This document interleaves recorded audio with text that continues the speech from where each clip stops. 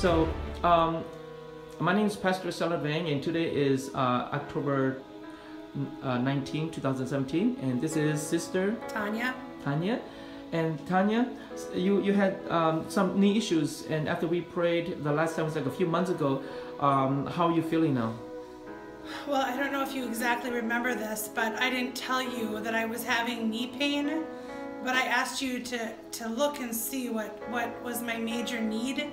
And I thought it was my knee, but you said that you saw spirits that were attacking me that were like backstabbing me, people talking about me constantly. And um, I didn't tell you anything about that, and that was what was happening in my life for about the last, well, really a long time. So um, that problem, the backstabbing, has been almost eradicated. And when it tries to get me, I, I just use the word of God. But then I, I mentioned to you that my knee, I couldn't walk on it at all for mm. about three hours.